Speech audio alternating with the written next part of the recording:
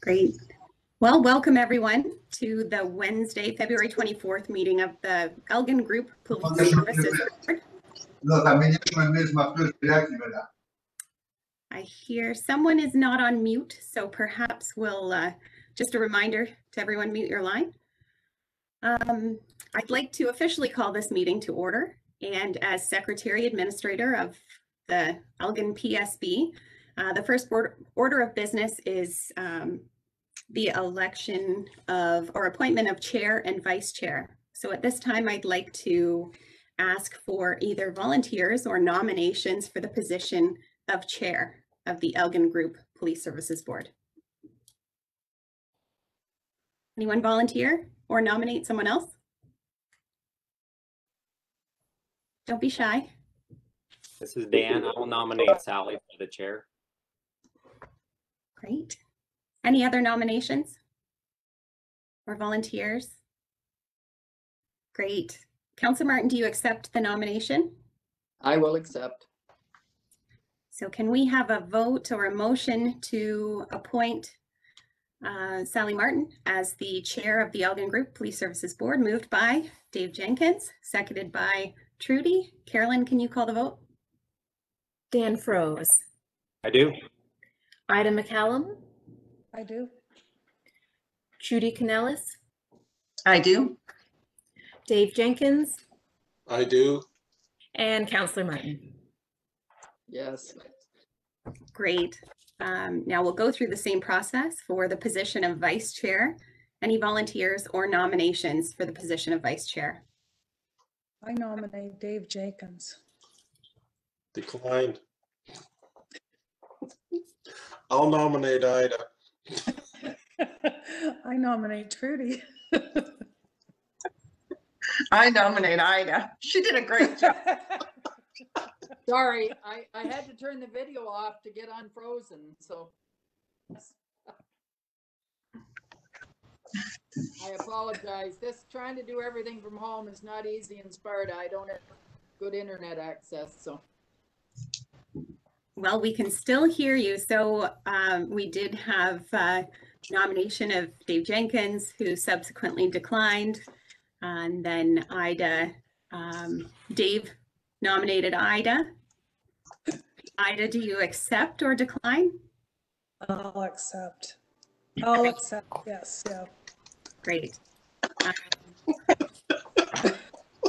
so We need a motion to appoint Ida McCallum as the Vice Chair of the Elgin Group Police Services Board, moved by Dave Jenkins, seconded by Trudy Canellis.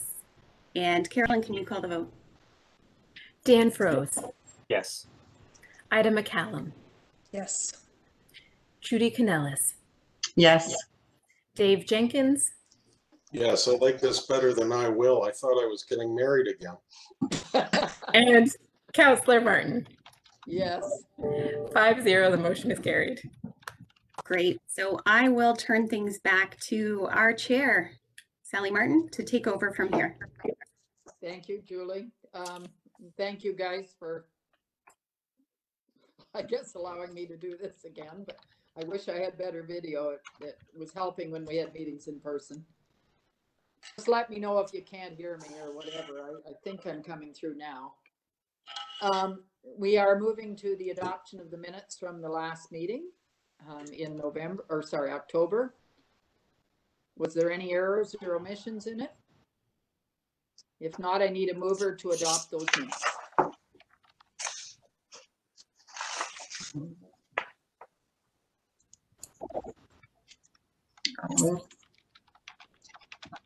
I'll second. I, all right, Tru- I, sorry, Trudy moved and I just seconded. Go ahead and call the vote then, Carolyn. Dan Froese, Yes. Ida McCallum, Yes, Trudy Canellis, yes, Dave Jenkins, Yes, Counselor Martin. Yes, Five zero, the motion is carried. thank you. And now uh, we have disclosure of pecuniary interest or the general nature thereof. Does anyone have any?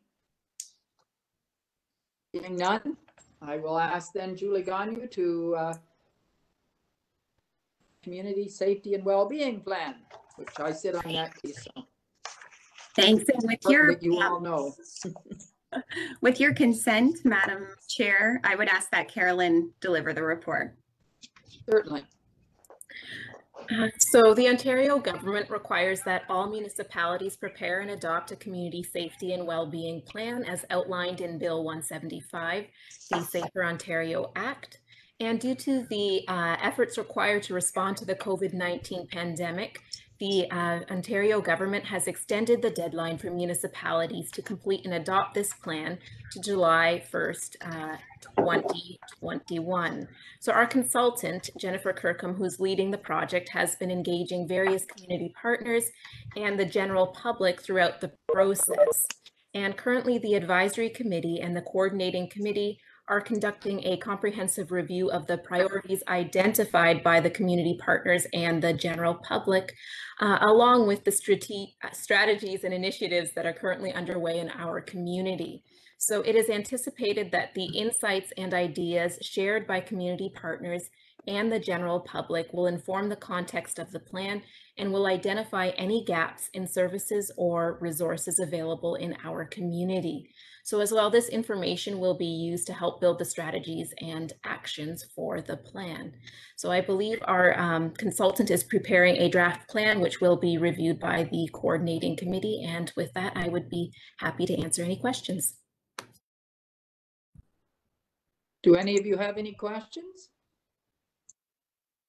We, with the public consultation, I don't know if any of you took part in that, but it, it certainly was um, interesting to see what the public's uh, concepts of, as it sees in the, as you see in the report, what they consider the issues for safety and well-being in our community. No questions or comments? Uh, we need someone to move the acceptance of this report. Ida and Trudy? Call the vote, Carolyn. Dan Froese, Yes. Ida McCallum, Yes. Trudy Canellis, Yes. Dave Jenkins, Yes. Counselor Martin. Yes. Five zero, the motion is carried. Okay, and now we're coming to you, Mike, and your detachment report, quarterly report. Uh, Madam Chair, I'm just wondering if, uh, if we could perhaps uh, mess up your agenda a bit. Uh, I see Acting Chief Superintendent uh, Hamilton is on the call, and I know his time's valuable, so perhaps maybe you could hear from him and then uh, come back to my report. Okay, now that was in closed session, correct? That's correct. So we will have to, we'll have to have a motion to move into closed session. Um, and then after that, we'll move out again and do the rest of the public meeting. So I need a motion to move into closed. Ida? Seconder? Dave Jenkins. Thank you. I can't see, I can't hear. Sorry. So uh, Ida and Dave, would you call the vote, please? Carolyn? Dan Froese, Yes. Ida McCallum, Yes. Trudy Canellis, Yes. Dave Jenkins, Yes. Counselor Martin. Yes. Five zero, the Yep. motion is carried. Thank you. We'll give Carolyn a moment to take us off live before we, Dan Froese, Yes. Ida McCallum, Yes.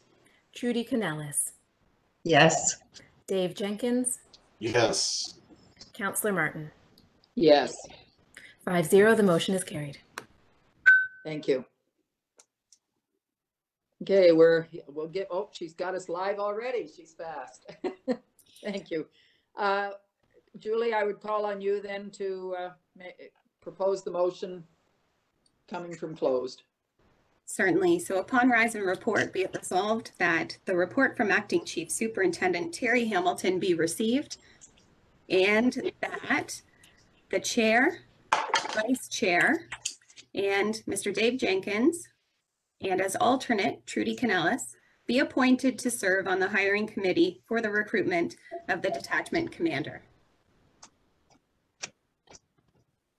We need, you need a mover? And Yes, please. seconder? who's going to move that one, please? I'll move it. Thanks, Dan and, and Ida, second. Vote then, Carolyn. Dan Froese, Yes. Ida McCallum, Yes. Trudy Canellis, Yes. Dave Jenkins, Yes, Counselor Martin. Yes, Five zero, the motion is carried.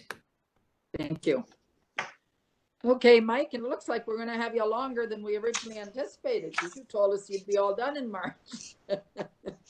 But if you're gonna hang in for another couple months, right? I'm more than willing to stick around until the right person shows up. Good. And I'll, uh, I'll send a check out, uh, as usual, for all of your kind comments. I'll have to send one to Chief Hamilton as well, so. Jeff we don't Jeff and I will. Go ahead, Mike, with your report. Sorry. Okay, uh, sorry, just give you an idea. I just want to skim through the detachment commander's report because I actually have a PowerPoint presentation uh, that I'm more interested in, in uh, getting into a, a little bit more detail with you. So I'll just go through a couple of points on the detachment commander report and then hopefully I'll share a screen with you here shortly. Uh, so through the first page with the public complaints, uh, after sending that report in, I was able to get the stats. They weren't available at the time. Uh, there were two conduct related uh, public complaints during the October to December of 2020 uh, timeframe. Our intelligence-led policing crime abatement uh, program continues uh, with five people in the program, uh, two people charged with a total of 10 charges. So it's nice to have that program back up and running in its previous capacity, and we're seeing good results from that. As far as patrol hours, October to December, 393 hours of uh, cruiser patrol, seven hours of foot patrol, and 15.5 hours of school patrols. And again, that school patrol area would have been uh, related to back to school initiatives early in the fall. So just want to draw your attention to motor vehicle collision types briefly and those uh, statistics that you were provided. You'll see uh, 2019 to 2020 for fatal motor vehicles, we went from eight to six. And I'll get into much more detail on our fatals uh, after after I go through these stats. Uh, Personal injury uh, collisions, no change, and property uh, damage collisions are down sixteen point nine percent. Just skip now to the, uh, the RMS report.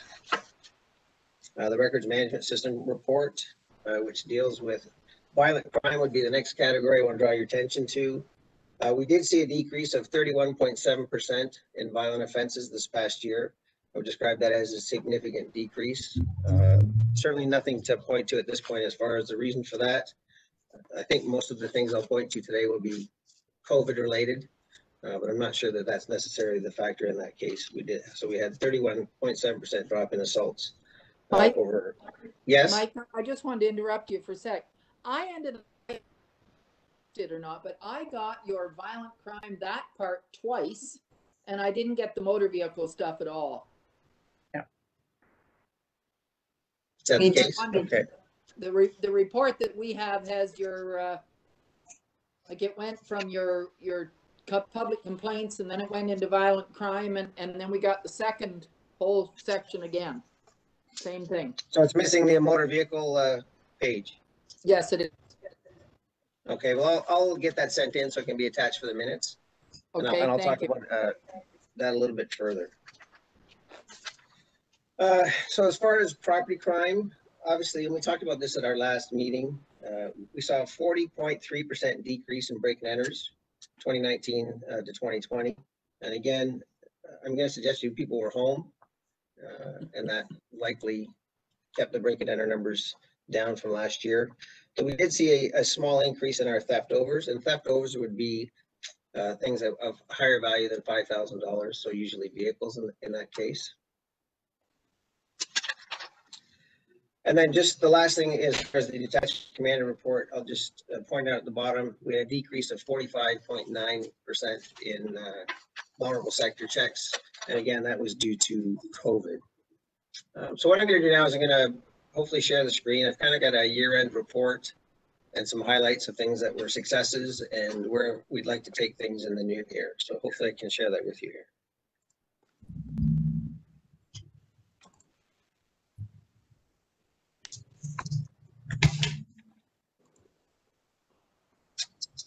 First of all, you can see it, I hope.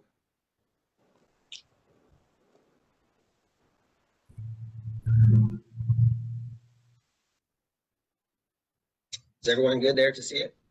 Yeah. yeah. Okay. So the first uh, slide that I'll, I'll go to talks about detachment structure. I know this has been shared kind of in a flow chart previously.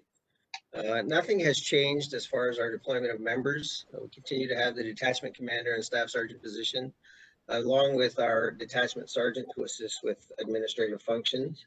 Uh, We have one detective sergeant, uh, four frontline patrol sergeants, and 28 frontline patrol constables. So these are the officers that are assigned to platoons and work a shift rotation uh, on the front line. Uh, We then have four detective constables, and then three detective constables in our community street crime unit that I brag about so much. Uh, so they're, they're separate from that and they still work as part of the joint Middlesex Elgin Community Street Crimes Unit. We have three officers assigned to traffic management, two court case managers, a community mobilization officer, our community service officer, who is Troy Carlson currently, emergency response team constables, a constable that's responsible for our property vault, uh, we currently have four detachment administrative assistants. We just, uh, had one retire in December and a replacement come from another detachment. And then we have our three part-time constables as part of our provincial, uh, court, uh, funded by Central Elgin. And then we also have the use of one part-time constable. Uh, This is a regional part-time constable. There's no additional cost for the board or any of the townships, and we can, we can use them, uh, for frontline purposes. Any questions about the deployment model? It hasn't changed, just for those of you who are new on the board, just gives you a breakdown of, of who's actually assigned here.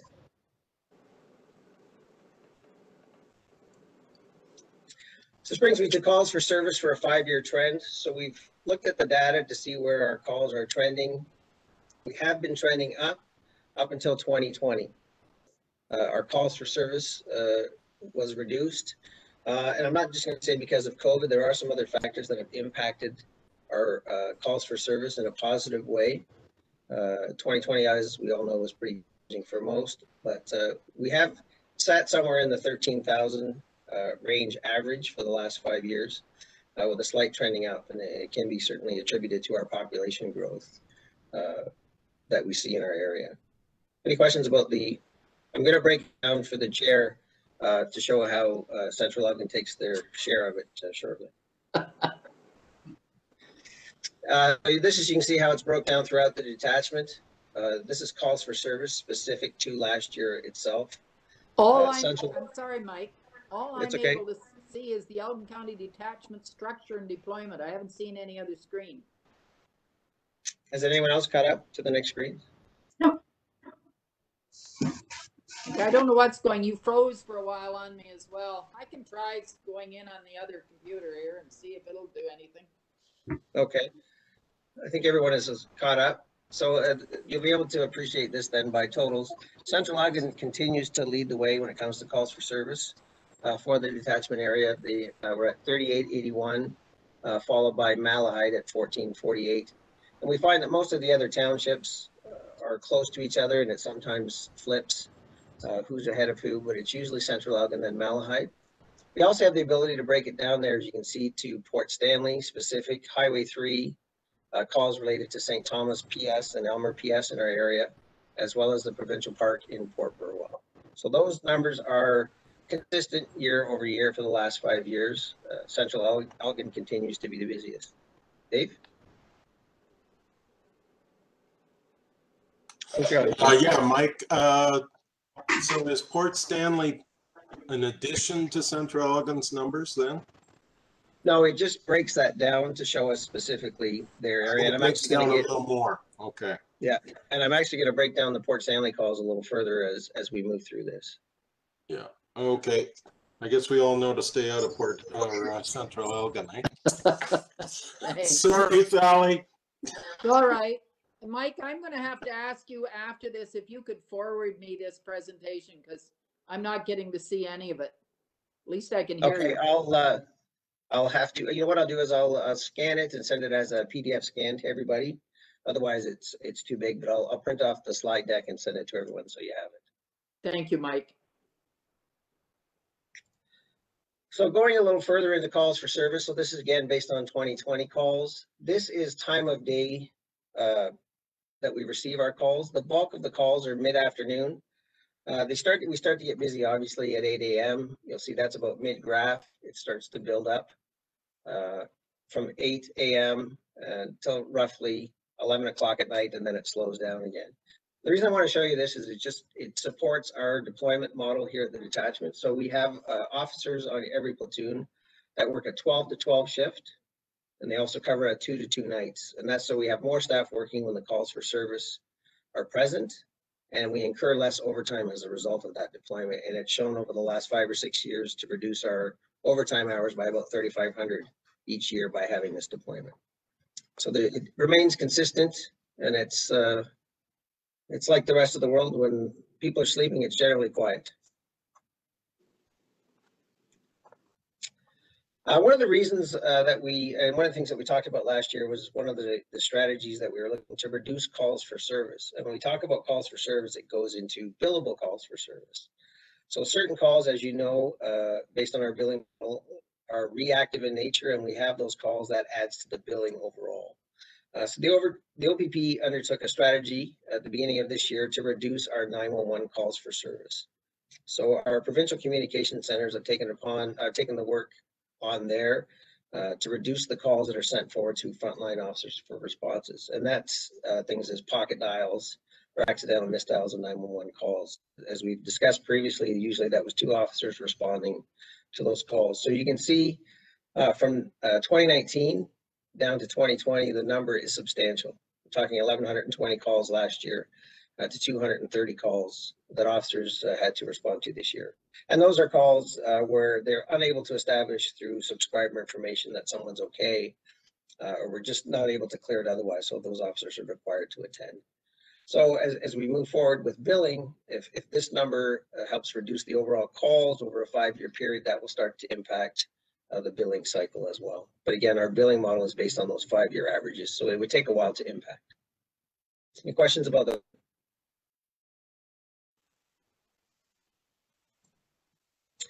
Another uh, topic that we discussed last year and where the board made a motion to seek assistance from the county and the engineering department was our car deer collisions.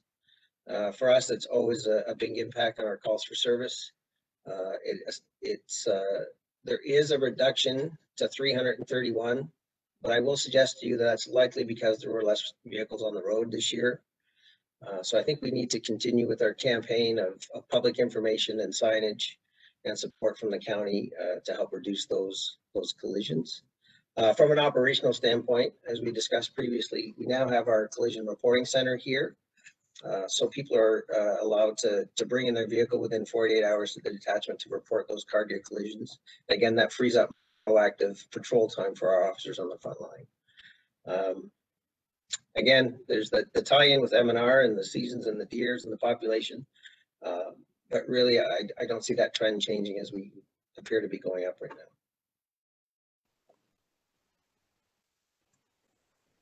This may be hard to see. It does break it down pretty, uh, pretty low in some of those numbers, but I just want to show you our, our total collisions and the primary causes for those here in Elgin County. So this is some of the information that wasn't in that report. You can see that the biggest cause of collisions in the county is an animal or wild, what it says wild or domestic, but essentially those are car deer crashes. And this is a five-year number that you're looking at here, a five-year total. So uh, car deer are still our highest number of collisions in the county, uh, followed by inattentive drivers and lost control. So a lot of times those are weather-related or perhaps distracted driving type collisions. Uh, speed too fast for conditions is also a, uh, a weather-related uh, crash statistics, so they, they're usually our winter crashes. And then fail to yield right away usually resolves, or is the result of an intersection related question. So if someone's on the through road and you're at a stop sign, they have the right of way. So those are our main uh, areas of attention, certainly as we move forward for this year for our uh, traffic enforcement. Uh, the animal collision again remains a bit of a challenge. I'm not sure uh, and again, subject to support from the board and ideas, uh, how we come up with even a more aggressive way to campaign uh, to try and reduce our car deer collisions. Uh, the rest will certainly be addressed through our enforcement. Just so you know, Mike, the county did put up more signs and like quite a few more signs they're trying. You know, it's, a it's a tough one. It is, and we appreciate that support and the messaging. I think it does help. Uh, and hopefully that small dip in the number will maybe be attributed to some more signage. Um, I think we still need to keep moving forward in that regard.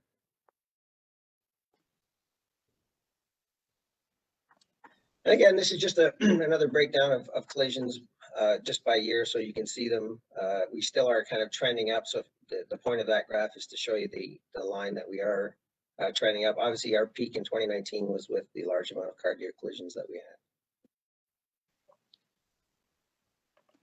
Uh, we just received a fatal motor vehicle study. Uh, so our, our traffic services in the region uh, looked into our traffic fatals from January 1st, 2015 to June 30th, 2020. And I'm just going to share some of the key findings with that, not necessarily this entire slide. So over this uh, five-year period, we had 35 motor vehicle collisions uh, in the county. So when you compare that to our homicide rate of usually one per year or zero, we're certainly losing, continuing to lose more people on the roadways than we are uh, to criminal means. Uh, there's no necessary pattern for fatal collisions in every month except for November and the most occurring in December. And I think that's because uh, in 2018 or 19, we had a large number in December. Uh, certainly the weather plays into that as well. Days of the week, it says Sundays and Wednesdays, uh, but again, it's it's not entirely, uh, doesn't really tell us much. Um, just down to the next red highlight there, the highest number of collisions occurred on the 401. So as you know, uh, in Southwold, we have the 401 running through uh, all the way through Weston, our county from there. Uh, and 23% of those five fatals um, have occurred out on the 401. And you'll see a little lower, it says eight of those are, are eight commercial motor vehicles. Uh, I know during the construction, we had a little bit of a spike there as well. Uh, so our plan this year is to conduct uh, numerous focus patrols out on the uh, on the 401 uh, with the use of our motorcycles. Uh, and because this is an identified pressure here at our detachment, we'll also receive some assistance from our Highway Safety Division members in London based on our focus patrol and our obvious need out in the 401 uh, for enforcement. And that's related to commercial motor vehicles falling too close, inattentive drivers, and always speed is a factor out there. So uh, that will be one of our goals this year is to address the, the number of fatals out on the, on the highway. Um, just some interesting stats. Males were uh, three times more uh, involved more, three more times than females. Um, and the only other kind of anomaly in our study was that 24% of our collisions involved drivers 65 years of age and older. And I don't know if that's a demographic that just speaks to our community, uh, but I just thought I should put that in there for, for interest sake. Any questions about that first little page? Uh, this just puts in a, just to show you in a graph on the bottom. Again, anytime I see a graph trending up, it causes me concern. Our fatal injury collisions, as you see below. Uh, and last year that this stats were collected in June. We had one after that. So 2020 should actually show six. So there is a trend up. Um, so it does cause me uh, some concern and that's will will certainly be our response as far as uh, focus patrols uh, through the year as the as the weather changes. Uh, to break it down to the causal factors and where about uh, where they're taking place, as you'll see, it's in the same uh, categories really as our as our detachment uh, overall MVCs or collisions. Um, loss control or inattentive driver, uh, there's uh, obviously the highest count there other than unknown where we've unable to determine what the issue is. Two impaired by drug, two impaired by alcohol, and two of them were speed too fast. So uh, certainly inattentive drivers are, are, are, a big issue. When you break it down by municipality for our, our, our, board area, Southwold is the highest, and the reason they're the highest is because the 401, again, runs through a bulk of their area, if not the entire area, if I'm correct. I finally got the screen, Mike. Well, that's good. I'll still send it to you. Okay. It just finally jumped to the fatals. Well, I'll blame our computer system here. So any questions about fatals or our plans or goals uh, for this year?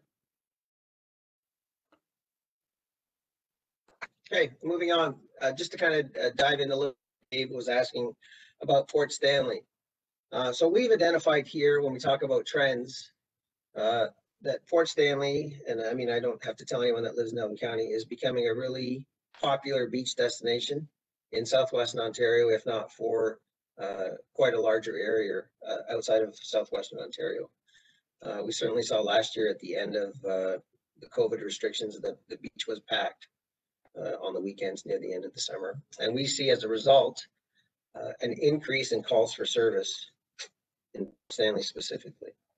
So you can see as that trends up, we went from eight, uh, seven hundred to eight hundred and thirty, uh, which I would suggest is, is substantial for one year, for that, that small community. Um, this is, uh, by month, so you can see obviously in the center, this, um, this graph for some reason puts January and February in the middle of the year, but, uh, July, August and September are peak times for sure, July being the, the most busy, but it's, I mean, that is just common sense. It's a beach location and it's very popular. So just to speak to plans and goals for this year, uh, Jeff and I have had many discussions. Uh, uh, on top of the 401 and the, the traffic issues that we've identified, uh, we're going to be conducting uh, a number of focused and directed patrols in Port Stanley for the summer. We're going to be assigning additional staff to work Saturdays and Sundays, both in the day and night. Uh, we'll increase our foot patrol, our bicycle patrol. And uh, as we discussed last year, we've been able to secure some ATVs, so we're also going to conduct some ATV. And this will be, uh, the goal in relation to these patrols will be uh, high enforcement. Um, Certainly for liquor license offenses, any, any observed traffic, traffic offenses, and uh, rides and impaired driving enforcement. Those are going to be our goals down there uh, every weekend. Uh, not to say that we're not going to be engaged in the rest of the, the uh, county, but we will have additional staff that we're going to direct to Port Stanley for the weekends uh, to basically send a message that anyone that's coming here from from outside our area or from our area that they they can attend and enjoy, but certainly to do it uh, safely. So we will also continue to have our Marine Patrol uh, out and about this uh, this summer as well. Just so you know, we actually had to hire several extra bylaw officers this year and they were extremely busy in Port Stanley as well. Yeah, we, I mean, even the flow, just to add to that, uh, the flow of our officers, the traffic in and out, uh, certainly when the bridge gets open again, as it's scheduled for the, the beginning of June, uh, we know it's gonna be busy. Uh, so we're gonna try and have a higher presence just to, to make sure that traffic even is flowing as, as good as it can. Mike, is And there we any? will, oh, Go ahead. sorry, I was gonna ask, is there any um, plans for work on 401 this year? Like, are they We doing haven't- any? Because that's where I, I felt a lot of the problems came from. I, I would agree. I don't think we've, I don't, uh, just Jeff and I looking at each other here, I don't think we've received any notices uh, for any reductions or stoppages on the highway this year yet. Yeah. I'm sure that's subject to change, but uh, I know most of it was in relation to them getting the, the guard wires or the, the safety wires in uh, last year. Uh, So I'm, I'm Mhm. hoping there isn't. I, I would agree, Ida, that uh, that did cause us some concern and I would suggest it did contribute to uh, at least one of our fatal crashes out there with the reduction of lanes. Okay. Thank you. So just a couple other things to point on uh, that, that will speak to our summer deployment. This is just our auxiliary hours, and I know uh, Inspector Fishley reported these kind of annually to you as well. Um, As you can see, we only had 127 uh, hours of our auxiliary members assisting here at detachment this past year, and that's because we stood them down for COVID. Um, They all have lives outside of uh, their OPP volunteer duties, so it was uh, prudent certainly safe on the part of the organization asked them to stay away during uh, the pandemic. Uh, We're slowly going to work, uh, hopefully get them back in for our summer events to help us with Port Stanley and other, uh, other duties throughout the year. So we look forward to getting them back in. Our unit is still uh, up to staff, so we still have few members. We look forward to engaging them a little bit further this year. Just wanted to give you this uh, overtime uh, quick look at this overtime graph, just to show you that top line. It just shows McKenzie Meadows, Landback Lane. That's the Caledonia issue that we've been dealing with this past year. I just wanted to show you that, that the ninety-five hundred and fifteen hours of overtime that Elgin County members worked there. Um, so on top of their duties here, uh, that's what they did to assist there. And then obviously other officers had to backfill in here. Uh, certainly before there's any concern, that- that's not overtime that this board will be responsible for. Uh, it's part of our provincial responsibility. I just wanted to just put a little bit of, uh, just notice out that how hard our officers did work in spite of everything that was going on. Here at detachment, they were still busy working in, in, uh, in Caledonia this past year. So, uh, it seems to have come to a, a bit of a conclusion and we're not sending, uh, as many people as we were previously, though we are still engaged a little bit at this time. Uh, and without getting too many of those, those details there, you'll see that these are the main leaders in overtime for the detachment. Most of those involve activities outside of Elgin County. So us supporting other provincial uh, initiatives or needs across the province. And uh, finally, uh, just the criminal record checks, uh, again, because we were down this year because of COVID. um, And currently maintaining, the doors are closed and we're only doing for essential workers employment purposes only. So that'll maintain until we get direction otherwise corporately, but uh, otherwise operationally, we still uh, remain hundred percent operational. And subject to any uh, questions, um, that's all.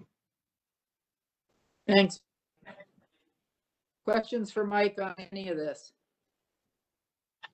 I had to get a picture of Jeff in there at the end, so. Oh, thank you. Hard to tell with the masks and everything else. Now I just have to figure out how to stop sharing my screen and we'll be good.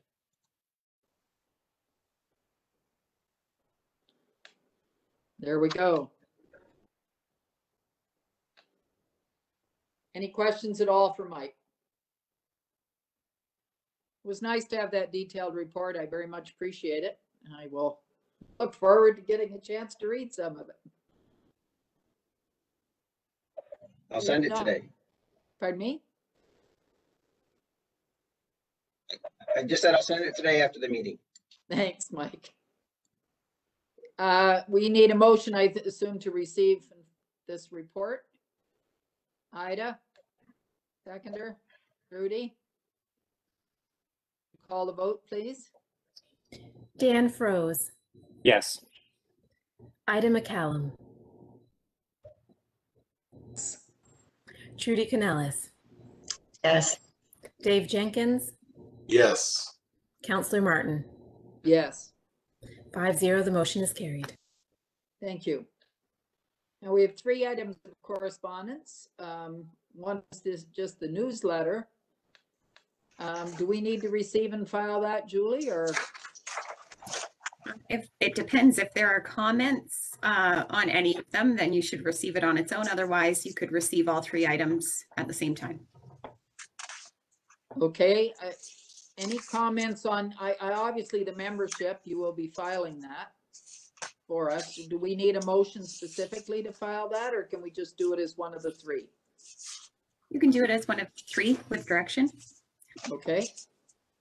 The spring conference, um, which of course is going to be virtual again.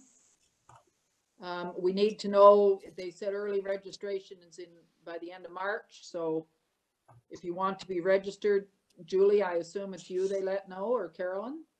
Uh, Carolyn would be great. Okay.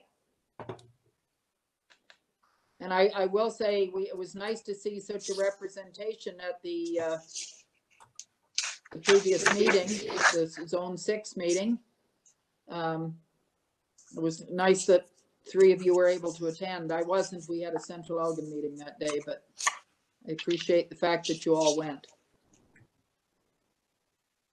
And there was a good turnout, which amazed me. Because that's not been the case, so I'm glad maybe Julie's making a difference there. Any questions on any of those items that you want brought up? If not, I need a motion to um, accept them all and act on the, the one for membership. And if you want to go to the conference, please let Carolyn know. I will make the motion, Sally. Thanks, Dan. And all right, Ida or Dave, they both put their hands up. Carolyn, would you call the motion? Vote? Dan Froese, Yes. Ida McCallum, Yes. Trudy Canellis, Yes. Dave Jenkins, Yes. Counselor Martins. Yes. Five zero, the motion is carried. Okay. Are there any other items that anyone needs to bring up or business?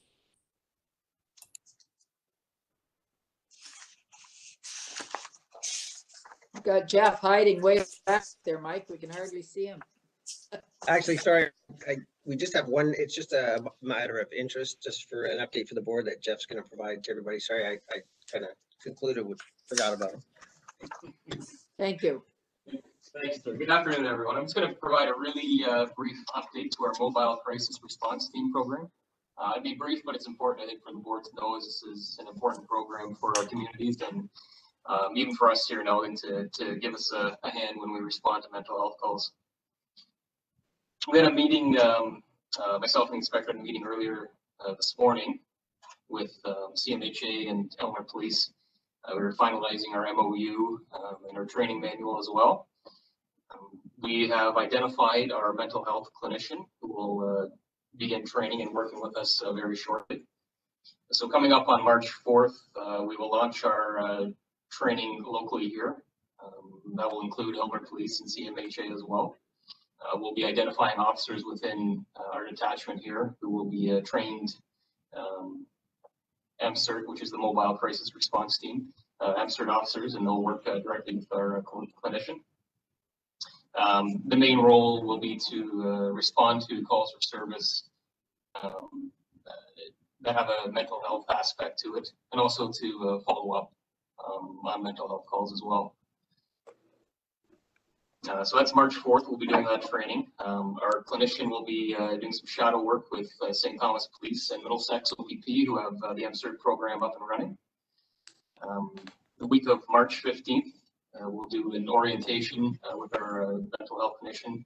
uh, Get her used to uh, the detachment and uh, police cruiser and all that other kind of stuff that uh, that might be foreign to her. And then ultimately on the week of March 22nd, we hope to become op- operational. Um, Our MCERT team will be uh, working Monday to Friday, eight to four to start. Um, And that's uh, in line uh, with the calls for service stats that uh, the inspector showed earlier. So that works well. Um, so yeah, just a brief update, but uh, subject to any questions. Thanks for your time. Thanks, Jeff. Does anyone have any questions for Jeff? I'm glad to hear about the mental health one proceeding and coming up. That, that's, I think, an- a very important one. Certainly, uh, one of the emphasis in the community safety and well-being plan.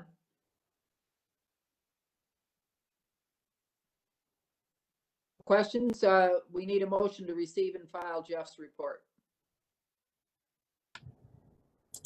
Dave?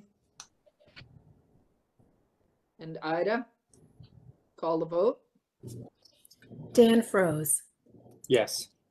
Ida McCallum, Yes. Trudy Canellis, Yes. Yes. Dave Jenkins, Yes. Counselor Martin. Yes. Five zero, the motion is carried. You become a counselor, you lose your first name. Just joking. Um, no other new business that anyone has? I guess the only thing left to do then would be to determine our next meeting date.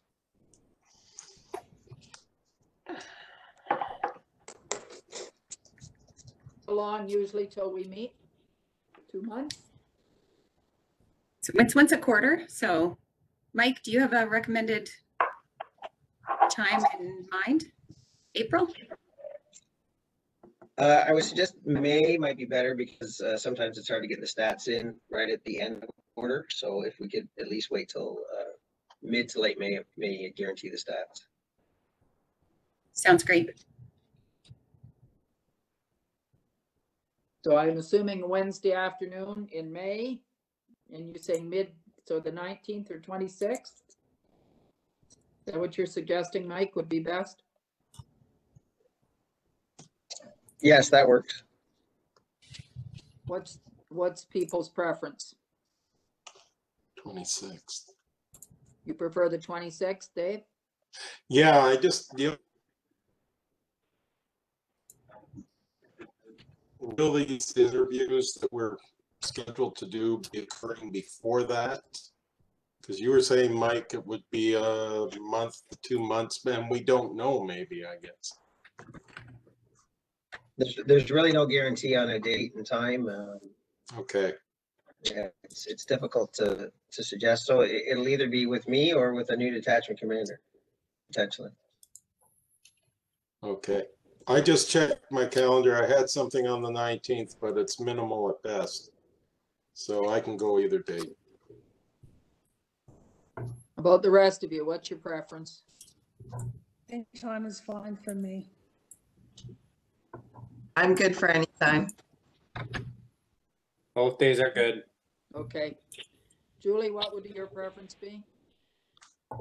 Um, I'll leave it uh, up to you, Madam Chair. Well, I, I think the week of the nineteenth is less busy for me and for Julie because we don't have council and county council and all that that week.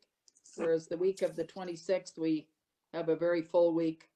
So if we could do it the nineteenth, that would be preferable for me. We can make that work. Acceptable to everyone at uh, two o'clock in the afternoon again. Maybe we won't have to be virtual. We'll have to see where things are going. I may have to come into the office and do it just so you don't have me cutting in and out so much.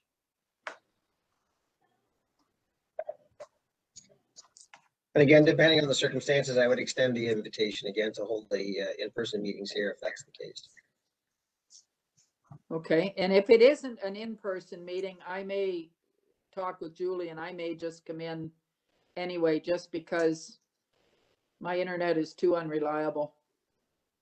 I couldn't believe your screen froze on me.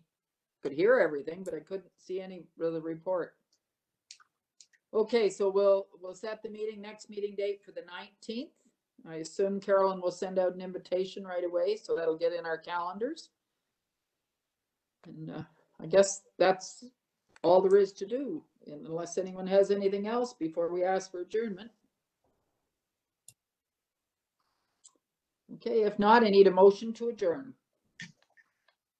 Moved by Dave. Seconded by Trudy and Ida. Call the vote, please. Dan Froese, Yes. Ida McCallum, Yes. Trudy Canellis, Yes. Dave Jenkins, yes. Counselor Martin. Yes, Five zero, the motion is carried. thank you all for uh, being here today and for putting up with this lovely virtual meeting again. I'm getting tired of them, I must admit. So um, it will be nice if we can see each other in person again.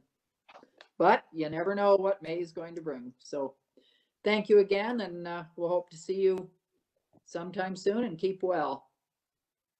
Thanks, everyone.